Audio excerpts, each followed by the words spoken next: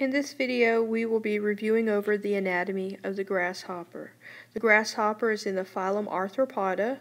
The arthropods are the largest of all of the known animal phylums. Three quarters of all known animal species are arthropods. This group is characterized by having a chitinous exoskeleton, segmentation, jointed appendages. The appendages will be highly modified for the function that they will serve. Growth typically occurs by molting. In addition to the phylum Arthropoda, we're going to subdivide the grasshopper into the subphylum Uniramia. Now, the subphylum Uniramia is the, phylum, uh, the subphylum that contains appendages that are unbranched. And since the grasshopper has one pair of unbranched antennas, it will be placed in this subphylum. Additionally, we can classify the grasshopper as the class Insecta. And so the class Insecta, just like the, the uh, other arthropods, has that tough exoskeleton. It has those segments, those jointed appendages. However, by only having one pair of antennas and a thorax with three pairs of legs and two pairs of wings, they're going to have a distinct body region, a head, a thorax, and an abdomen. And this is going to be the separation that we see with the class Insecta over other arthropods. Now with regard to the external anatomy of the grasshopper, the grasshopper's body is divided into three main body regions. We have the head, the thorax, and the abdomen. Now this head area consists of six fused segments and bears sensory and feeding structures. And so we'll be, see these movable uh, antenna. We'll see the compound eyes. There'll be three simple eyes located right there, there, and right in there called the ocelli. And the ocelli uh, detect motion above the grasshopper. They'll have um, feeding structures. They'll have those uh, heavy mandibles and the maxillae.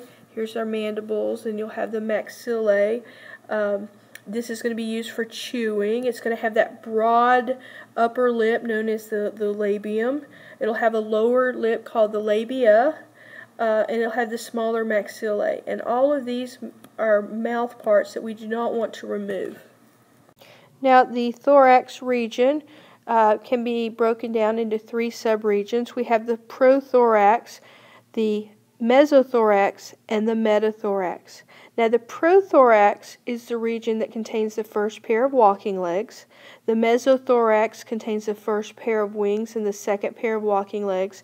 And then the metathorax contains the second pair of wings and the third pair of walking legs. Here we can see the abdomen region. Now, this abdomen region um, is the first segment which will fuse with the uh, metathorax and it's modified for reproduction. A few things we're going to notice here is going to be the tympanum. This tympanum here is the auditory organ. Also, moving right along this area, right across here, you'll be able to see these little tiny small pores. And these little tiny small pores are openings of the tracheal system, and they're called spiracles. And it's this system that allows for the air tubes to bring oxygen directly to the body cells. Now, if we continue looking at the abdomen region, one of the things we can do is we can differentiate males from females by looking at this last section of the abdomen. Now, this terminal segment on the males is going to be blunt, but in the females, you're going to notice two pairs of curved movable projections called ovipositors, and these are used for digging in the ground as the eggs are being deposited. So the males will have a blunt end to their abdomen, where the females, it will be V shaped.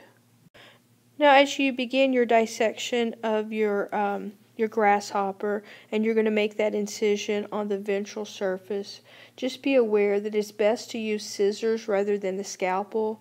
Uh, remember that you have a very tough exoskeleton and it's actually easier to use the scissors to cut through that rather than the scalpel. The scalpel may put too much pressure and you may damage the underlying organs. Now, because of their relative small size and the difficulty to distinguish the internal anatomy, we will be focusing mainly on the external anatomy of the grasshopper. However, I do want to briefly mention some of the key components of the internal structures of the grasshopper.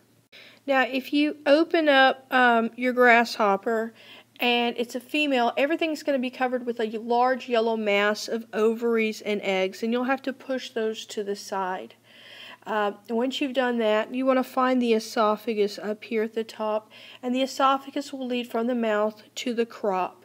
And the crop is what functions to store the food. Now, under the esophagus, you may be able to see uh, some very small grayish grape like clusters of salivary glands. This will lead to the gizzard, and uh, to the stomach. Now, just posterior to the gizzard, you're going to find some finger like projections called the gastric cecae. Now, these are attached at a junction between the gizzard and the stomach. And if we follow it back to the hindgut, we'll find a very thin Malpighian tubule. And these Malpighian tubules, uh, they kind of act like kidney for removing nitrogen waste from the insect. Additionally, when you open up that um, grasshopper, you may see these little uh, tubes right here. These are the tracheal tubes. Now, these tracheal tubes will attach to the spiracles on the outside, and so these are the internal structures for uh, getting oxygen into the, um, the grasshopper. Just as a reminder, the grasshoppers have an open circulatory system, and this means that the blood, called hemolymph, is pumped by the heart straight into the sinuses that surround the grasshopper's muscles, tissues, and organs.